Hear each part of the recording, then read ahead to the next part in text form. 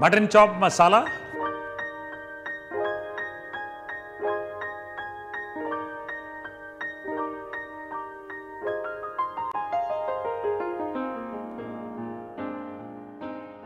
My name is Chef Harpal and you're watching me cook mutton chop masala. Interesting, isn't it? The recipe itself is very interesting, little lengthy, not so lengthy, I would say, but cooking, yes, because you are cooking mutton, definitely would be lengthy, and you're not using a pressure cooker. Remember, if you're cooking mutton chop masala, please don't use a pressure cooker because when you shear the mutton, saute the mutton, along with all the spices, it needs to get cooked slowly. There's no addition of water in this. That's the most important thing. Vessel up here on the gas range, oil, at least three tablespoons of oil. When you cook mutton, the oil that you require has to be more. One teaspoon of black peppercorns, small cardamom, five, six of the same, cloves, at least four of them, and a small piece of cinnamon.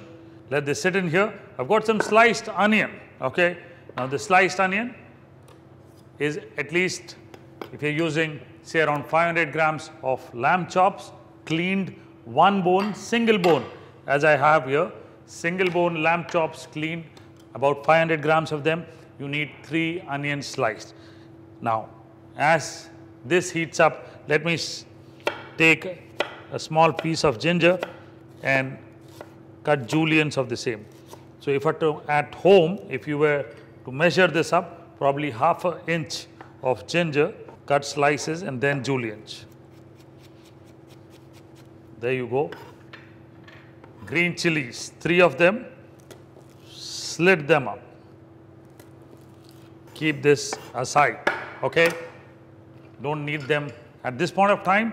After some time, as you smell the fragrance, you get this fragrance of the spices, add the onions, saute the onions until they are translucent.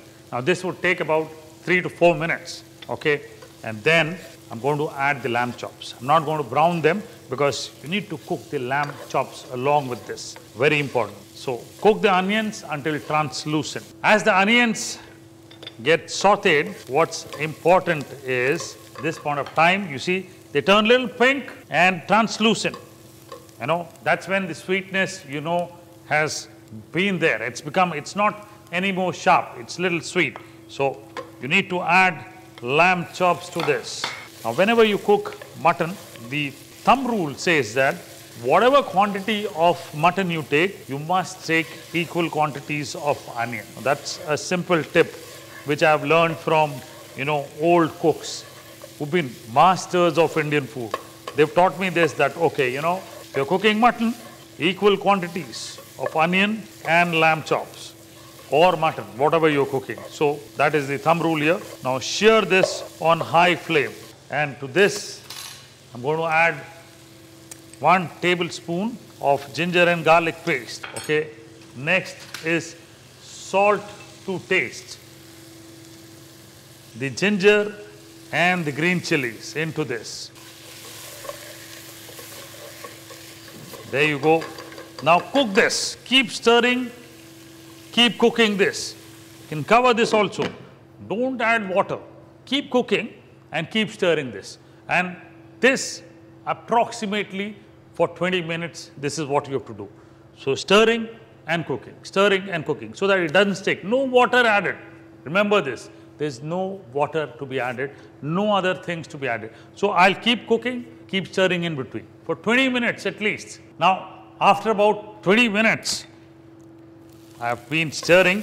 Now you see why I didn't brown the onions because I'm not adding water at all. And you see what's happened is the onions are also nicely browned. The mutton has been nicely sheared and almost about half cooked. At this point of time, I'm going to add the dry spices, red chili powder, a little bit of turmeric powder, garam masala, half teaspoon now and half teaspoon later, okay? That's what I am going to do. So dry spices, all of them. Wow, look at this. And now add the tomatoes. About two tomatoes puree is what I've added. Superb. The mutton is only going to get cooked after about 35 minutes of cooking. So what you need to do is cover this and keep stirring in between again. If at all at home you feel that no, while I'm cooking, the mutton is sticking to the pan, you can keep adding little water. I would avoid it. I would rather simmer it, you know, put the flame to the lower side and keep cooking slowly. Will take a little longer time, maybe around 40 minutes total to cook a good mutton. But that's what the taste will be. That's when you will enjoy this mutton chop masala. Beautiful, dry, okay? So keep cooking this for another 10-15 minutes. Dry. If at all I need water, I'll keep adding little at a time, not too much, just to protect the mutton not from sticking to the pan. Okay, that's what you need to do. Now after about 10 minutes, again, what I need to do is look at this. Beautiful. I did add little bit of water, not too much. Finally, I need to add some yogurt. There goes the yogurt. Now this is just to tone down the chilies. That's what I'm going to do. Just to tone down the chilies, juice of half a lime. Finally, the garam masala, half teaspoon into this. Take two sprigs of mint, remove the leaves and add to this. Keep stirring, keep cooking for about three to four minutes. And as it becomes dry, the yogurt also completely dries up. Mutton is absolutely ready. Chops are just divine. All you need to do is remove all the chops in a pan. Remove all the chops in a serving dish that you want to. Serve the chops in. Now what you see here is dry masala chops. You need to have some patience while cooking this. Little water, keep stirring, keep stirring. If you can avoid water, the best thing because then the taste of mutton will be the best. But in case you think, no, it's sticking, keep adding little water and cook until the mutton is nice and soft and the masala is absolutely dry and serve it just like this.